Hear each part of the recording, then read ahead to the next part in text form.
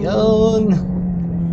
Nangati tayo kaya labas-labas naman tayo ngayon. Tinatry ko din itong bagong Insta360 ko kasi nasira na yung unang action cam ko na SJ6 na SJ cam. So, medyo nag-invest tayo ngayon sa Insta360 natin. So, alam ko na, ano, uh, medyo mahal siya pero sa tingin ko maganda naman yung kuha niya.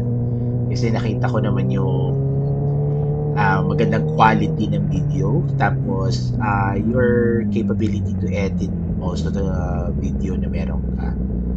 Um, ito, uh, medyo nangangain siya ng tanga. Kasi yung unang video ko ng ride, uh, hindi ko siya na-edit ng maayos. Tapos, na-delete ko pa. Ay, try natin ngayon uh, kumuha ng video habang nagpapainit tayo ng motor kayo rin ba ay mahilig magmotor? Uh, ako natuto akong magmotor nung high school ako, nagsimula ako sa tricycle. Doon ako natuto mag uh, motor. Tapos, pag binabaklas namin yung single mula sa tricycle, uh, hindi na ako nahirapang mag, ano, mag-adjust kasi marunong naman ako mag-balance sa bike. So, magmula nung high school, talagang gustong-gusto kong motor kasi uh, napaka-fun niyang i-ride. Tapos, pag may nakita akong big bike noon, alam ko sa probinsya namin, tsaka dun sa town namin, meron nag-iisa akong big bike. May, meron ako nakita nag-iisang big bike doon na second hand na inaayos ng isang magaling na mekaniko. Eh, mekaniko. Kaya yung tunog pa lang talaga tingin-tingin muna tayo ng presyo ng gasolina kasi kasama sa objective natin ngayon ang magpagas. Kaya tinitingnan ko kung mura ba yung gasolina dun sa Petron. Medyo traffic na dito sa Daang Hari, pero okay lang kasi maganda naman yung kalsada dito, smooth. May mga part na ginagawa. Anyway, going back sa story ko, so nung nagsimula na ako magtrabaho, bumili ako ng underbone na nagsimula ako sa ZX130. Kawasaki din siya.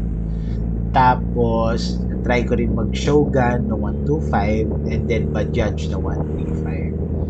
So, dahil matagal ko ng pangarap yung ano, yung pagmumotor, nagkaroon ako ng opportunity, nagbigyan ako ng magandang hanap buhay and sa tingin ko, kaya ko nang i abutin yung pangarap ko na magka-big bike. So, kating-kati na ako magmotor naman yung tropa ko na may big bike doon.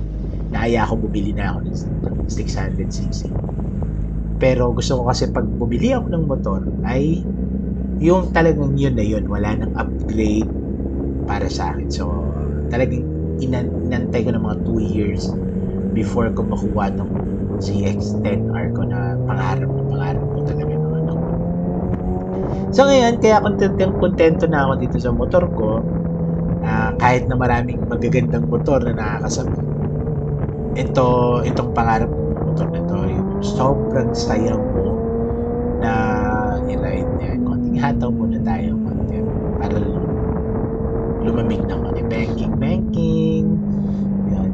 Uh, kaya every time na nira-ride ito, iba ang saya pag nira-ride mo yung pangarap mo sa buhay na maabot. So, naabot ko na yung mga pangarap ko na bigay-pugay muna tayo kay Sir mga kapwa natin rider sa kalsada kaya kahit konting painit lang, ikot-ikot lang dito sa Daang Hari, pagas, pag walang time mag-ride ng malayo, eh, ginagrab natin yung opportunity na yun.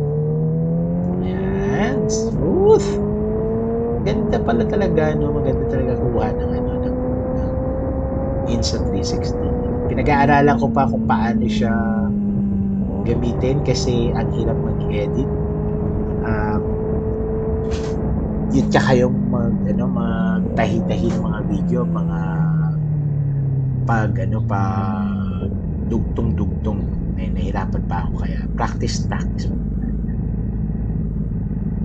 Mamaya pagas tayo sa Petron dito sa Petron area kasi alam ko mura dito hanap-hanap tayo ng mura hindi palibasa naka big bike eh hindi marunong magtipid hindi po actually sa ride mga kinakainan, mga mura.